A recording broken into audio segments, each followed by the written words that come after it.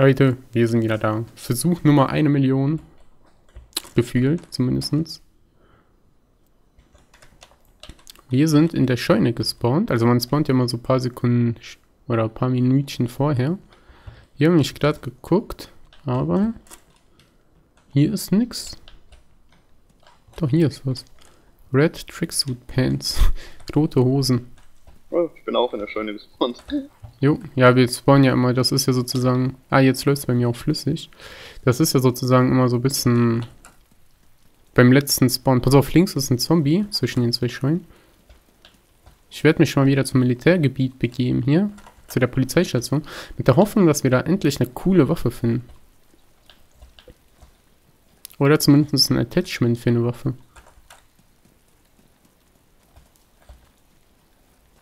Wir haben das jetzt so abgemacht, dass immer wenn einer so ein heftiges Gebäude lootet, in Klammern, ob man dazu heftig sagen kann, ist eine Sache, aber ich finde, also sagen wir ein gefährlich, oh geil, hier sind Chips.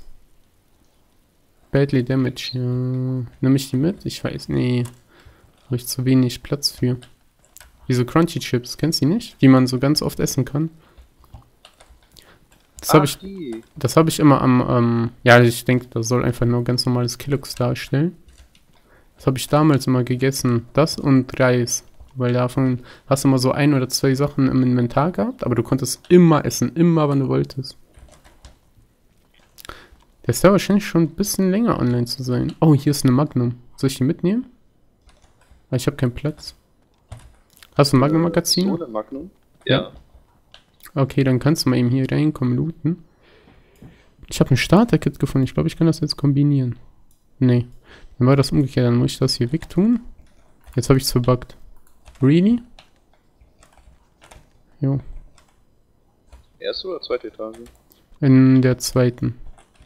Glaube ich. Ja. Irgendwo da war die. Falls du irgendwo so ein Blattpaket findest, kannst du mir auch Bescheid geben. Hier ist eine SKS. Und ein PU-Scope. Was meinst du, was ist besser, ein Karabiner oder eine SKS? Bei der SKS kann man Clips reintun, oder? Äh, boah, da bin ich jetzt ehrlich gesagt überfragt. ich teste das einfach mal. Waffenclips habe ich sehen. Ah, ich nehme eine SKS, weil da konnte ich gleich mehr Schuss reinpacken.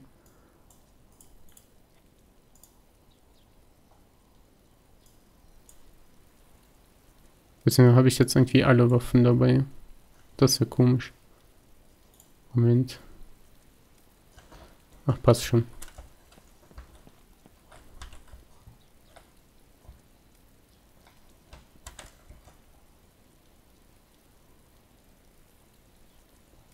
Okay, egal, das passt schon, das passt schon.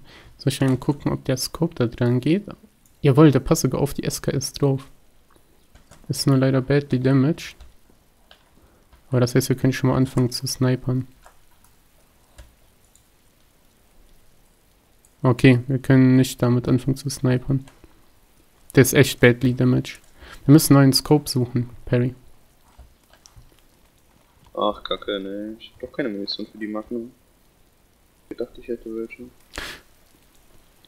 Oben findest du äh, ne, diese Waffe, die ich habe, falls du die haben möchtest, weil dann haben wir für beide Munition. Du kannst halt immer nur einen Schuss abgeben, das ist ein bisschen blöd. Ja, mit der AKM kann ich ja auch einen Schuss abgeben. Okay, dann macht das keinen großen Unterschied. Dann lass schnell weiter, weil das Gebiet ist hier gefährlich. Ich wurde hier schon ein, zweimal getötet. Unser Ziel ist natürlich das Nordwest-Airfield. Ich habe jetzt ähm, das Visier weggetan. Dadurch, also Badly Damage habe ich echt nichts durchgesehen. Da spiele ich lieber ohne Visier. Und wie wir abgemacht haben, gehen wir nicht an der Straße, sondern wir werden oben am Baum, also an den, an den Büschen entlang gehen. Da ist ein Zombie. Das ist ein Zombie. Selten, dass man mal einen Zombie findet. Normalerweise finden die dich immer durch 10.000 Wände und Häuser durch. Aber. Bei mir wachst du gerade leicht rum. Echt? Bei mir läufst du flüssig. Ja, du, du, ziehst die ganze Zeit die Waffe so und bewegst dich dabei. Also, du bewegst die Beine nicht, du bewegst nur deine Arme. Ah, den Bug kenne ich sogar. Also falls wir ein Militärgebiet finden, wir können hier noch ein, zwei Häuser durchgehen, die über- etwas weiter weg von der Hauptstraße sind. Vielleicht finden wir ja doch noch eine Tasche für mich. Aber sonst, also ich, ich würde gerne irgendwie so Richtung Pustoschka, Vibor, Nordwest Airfield, da so rumdümpeln. Ich glaube, da begegnet man, oder da findet man die coolsten Leute. Also, Obwohl- meisten sind. Ja, man muss ja auch Norden dazu So. Ja, man muss auch dazu sagen, nee, ich glaube, die meisten sind bei Rencino, aber die haben jetzt die Spawns geändert, schon ein bisschen länger her. Die haben die Spawns Richtung Vibor verschoben, das heißt, du hast eine extrem hohe Chance bei Vibor zu spawnen. Ich bin da letztens sogar dreimal hintereinander gespawnt. Und ja, da ist PvP-Only-Zone. Also, da muss man extremes aufpassen, weil da sind ja überall diese Militärgebiete.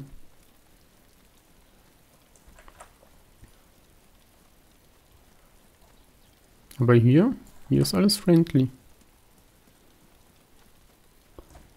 Dieses grüne Haus würde ich noch gerne mitnehmen. Mit dem kaputten Fenster. Wo die Tür nicht aufgeht.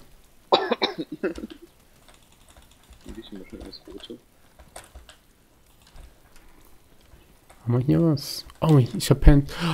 Ich hab, ich hab diese getarnten Hosen gefunden. Cool. Sommer Hunter Pants. Das ist ja geil. Die habe ich auch. Wir sind dabei, unser Equip zu vervollständigen. Ich habe hier immer Hunger. Ich esse nochmal eine Runde. Dafür ziehen mal die Axt da drauf und öffnen das mit der Axt. Und dann essen wir. Okay, ich habe gerade 62% vom Essen kaputt gemacht mit der Axt. Vielleicht sollte ich doch den Dosenöffner benutzen. Hm. Nom, nom, nom, nom, nom, nom, nom, nom. Ich hätte jetzt auch schon ein bisschen Hunger. Was, was für einen Kopfschutz benutzt du? Äh, eine Gasmaske. Ach, eine Gasmaske. Ähm, dann Boomy Head. Meinst du, es gibt schon irgendwie sowas für Gas? Weiß es nicht. Bist du eigentlich schon weitergelaufen? Ähm, nee, ich bin immer noch in dem Haus. Also, ah ja, da kommst Oh. du. Warst du schon dem Haus gegenüber, wo ich jetzt gerade drauf zulaufe? Nee. Dann nehme ich das hier auch noch mit. Du bist echt aufgeschmissen, solange du keine Tasche hast. Ohne die Tasche kannst du einfach nichts mitnehmen. Wirklich nix. Das Haus scheint wie gar kein Loot-Spawn zu haben. Doch. Doch, hat das hier. Aber nichts Besonderes. Dann lass schnell weiterlaufen. Also ich habe mit meiner SKS jetzt, glaube ich, mehr Schuss. Ich habe 10 Ich Schuss. glaube, da passen 4 oder 15 auf einmal rein. Ich kann es mal eben, ich kann es mal eben einfach testen. 10 waren es, glaube ich. Check. Ja, ist, ja, Ja, gut. ja, 10. Und ich brauche keinen Clip, obwohl es gibt, glaube ich, einen Clip dafür. Bin ich mir ziemlich sicher.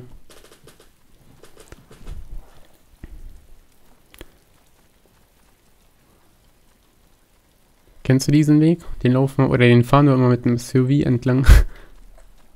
Ja. In den Büschen bin ich sogar ein bisschen getarnt. Ja. Jetzt hätte ich Bock auf einen Kampf, Perry. Stell mal vor, wir erschießen jetzt hier einen. Ich würde mich mega feiern. Mega awesome, ey. Ich glaube, ich habe noch nie jemanden in Daisy Standalone erschossen, weil ich noch nie jemand begegnet bin. Die, haben, die waren alle verbuggt oder so. Oder halt im Stream, wo wir dann hinterhältig erschossen wurden. Da ist eine Kuh, Perry. Diesmal, diesmal schaffe ich das.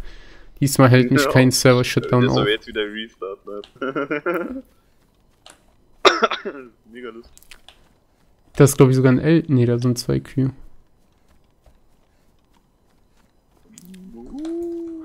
Ich würde noch vorher noch eine Runde trinken. Ah, ich muss wieder essen.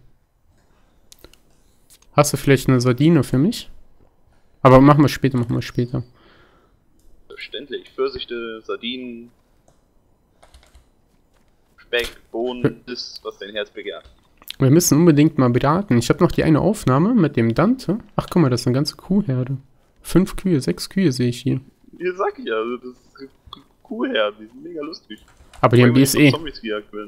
Die haben BSE, die müssen getötet werden. Guck dir an, die weiße Kuh. Es gibt keine weißen Kühe, es gibt nur lila Kühe. Und... Patz! Ein Schuss in den Hals. Eigentlich voll unlogisch, dass sie sofort umfällt.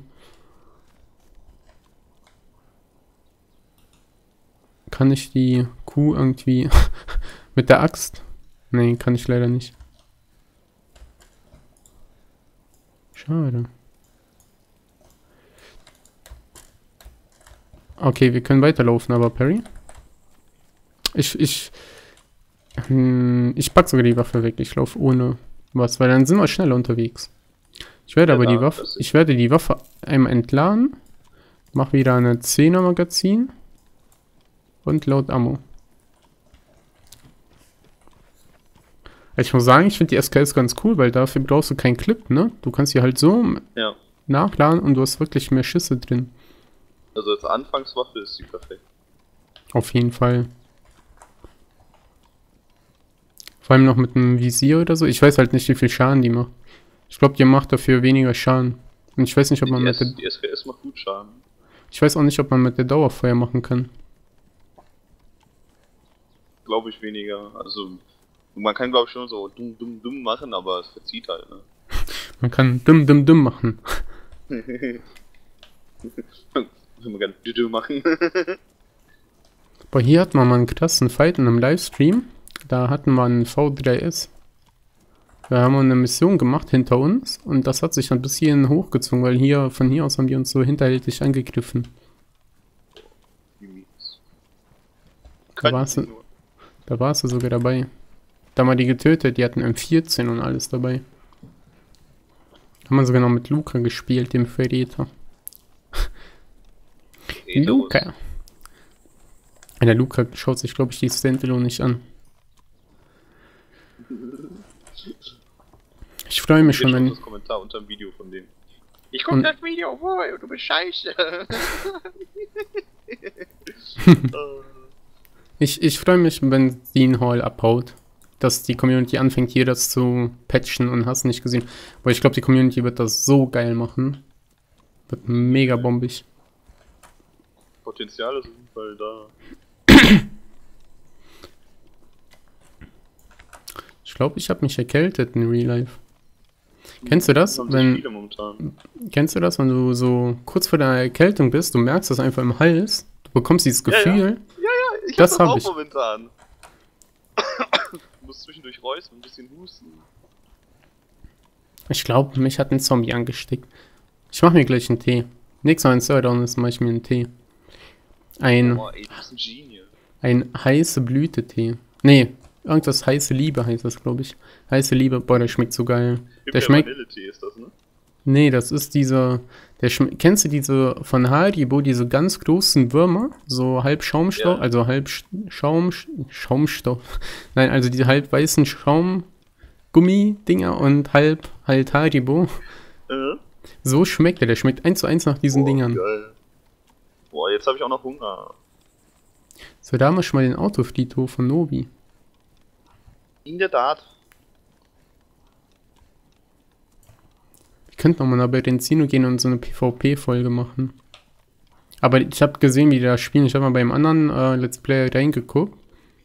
Und das war eigentlich, die haben alle auf den Dächern gecampt. Die haben wirklich alle auf den Dächern gecampt.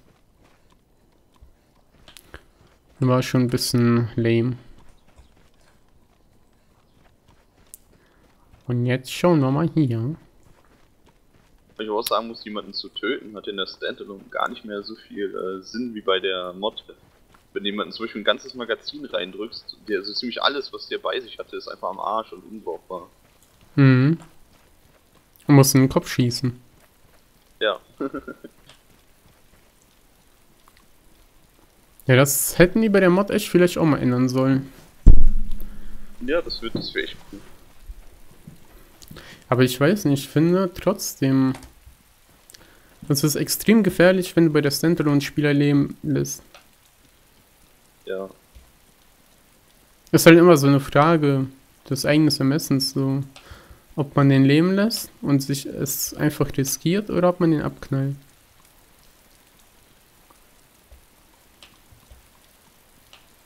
Perry, wir laufen gleich nach Stardy durch, okay? Alles klar. Novi, Novi Ich ist. auf zwei Server vorher bin ich auch durch Starry gelaufen, zu, am Sniperberg. Der Perry hat sich nämlich schon mal die ganzen Gebiete angeguckt. Und jetzt ist er der, der, der Lord of Tactical und kann uns sagen, von wo aus wir die beste Position haben. Ah, Und ich finde, unsere Position ist gerade nicht so die beste. Obwohl wir eigentlich gesagt haben, dass wir so an Bäumen entlang laufen möchten. Aber, Luca, äh, wir, wir brauchen dieses Kribbeln, die man beobachten könnte. Die jede Sekunde ein, ein Schuss fallen könnte, ich am Boden liegen könnte. Jo Leute, danke erstmal fürs Reinschauen. Wenn euch die Folge gefallen hat, dann lasst doch bitte einen Daumen nach oben da oder einen Kommentar. Hier oben habt ihr jetzt noch die letzte Daisy-Folge und unten den letzten Daisy Standalone-Part. Haut rein!